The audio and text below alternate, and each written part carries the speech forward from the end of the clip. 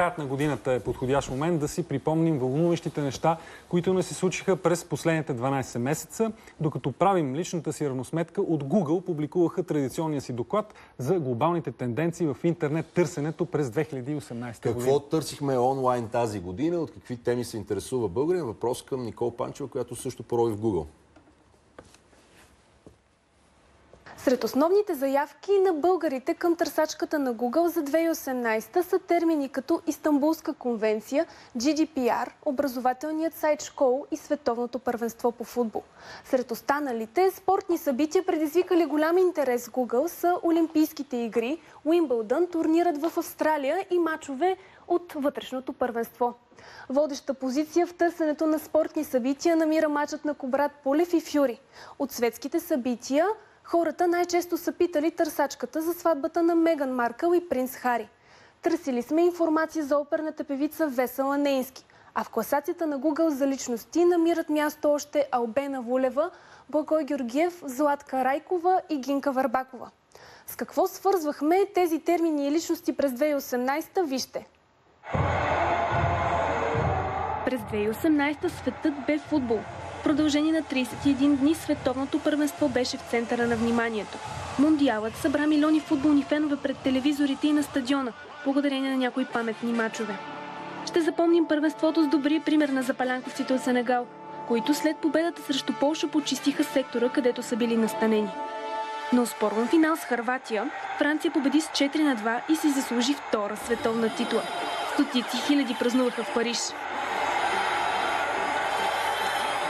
Дами и господа, Кобрат Пулев! Кобрат Пулев в последните години е на върховете на класацията за спортни събития. И през 2018 не прави изключение. Матчът му с Фюри през октомври очаквано е сред най-търсените спортни събития на родна земя.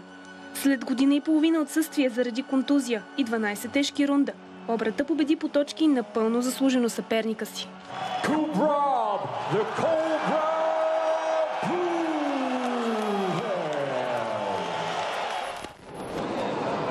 През лятото на 2018 курсът на турската валута се срина и достигна рекордно ниски нива. С един американски долар можеше да се купят малко над 6 лири. Така турската лира попадна в топ 5 на най-търсените економически теми в интернет. Сривът на валутата дойде като мигновенна реакция на решението на Вашингтон да увеличи митата. Така дипломатическата война между Турция и Съединените щати се превърна в економическа. На митинг в град Байбурт турският президент призова народа да се включи в спасяването на лирата. Ако някой има долари, евро или злато под дюшеците, трябва да отиде до банките и да ги обменят в лири. Това е национална битка.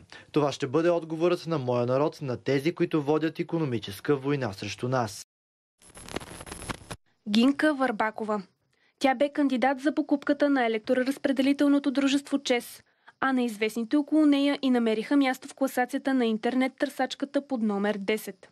Не съм Гинка от Требич. Да, на, да имаше такива колажи. да. А, не сте... Вие сте милионери. Да. М- да. Приятелки ли сте с Теменушка Петкова? Да, от познавам. кога се познавате? Познавам Теменушка Петкова от 20 години. Откъде се познавате? Съвсем случайна среща, съвсем случайно запознанство и приятелство. През март министърът на енергетиката Теменушка Петкова подаде оставка заради познанството си с Гинка Варбакова, но премиерът Борисов не я прие. Няколко месеца по-късно, през юли, КЗК отказа да одобри сделката за активите на ЧЕС заради концентрацията на фотоволтаици в другите две фирми на госпожа Варбакова.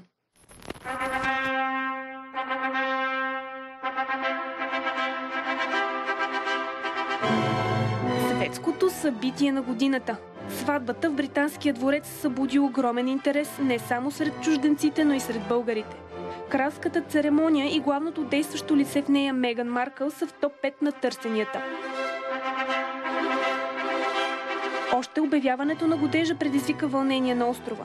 Снахата на кралица Елизабет II е американска актриса, с няколко години по-възрастна от съпруга си принц Хари. А и това ни е първи брак.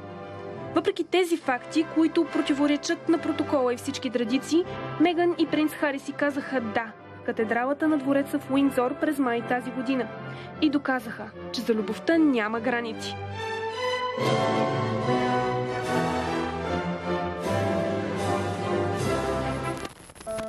Тази година се сбогувахме с един от най-вдъхновяващите учени на нашето време – Стивън Хокинг. Той бе истинско доказателство за силата на човешкия дух.